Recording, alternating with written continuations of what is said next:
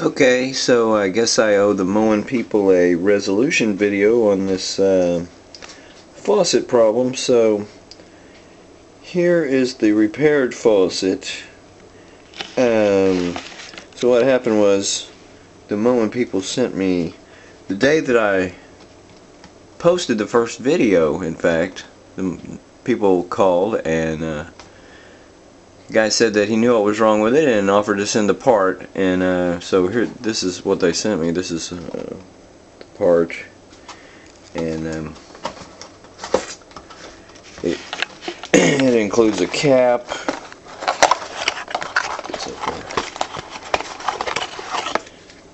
A cap and some instructions and uh,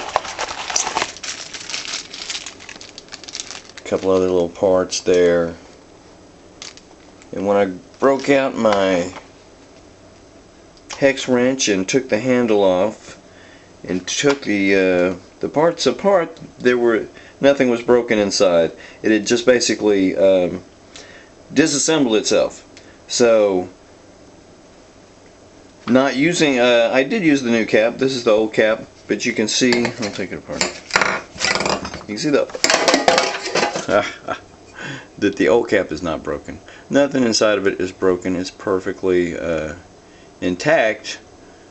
So I went, huh, okay, what's going on there? Um, apparently,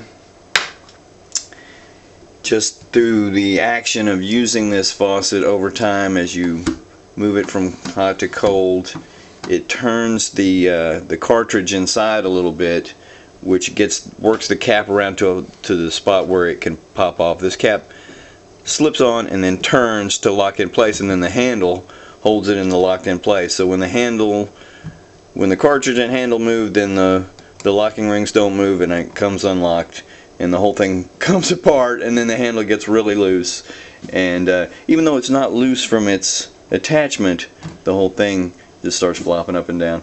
So I, I expect that will probably happen again and at least I know what to do is just reassemble it. I won't have to bother the people in Moen over that. So the good news is they responded immediately and um, were interested in helping me out, offered to send a new faucet. Uh, I, I told them that I would accept the, the replacement parts because the guy promised me it would fix it for good.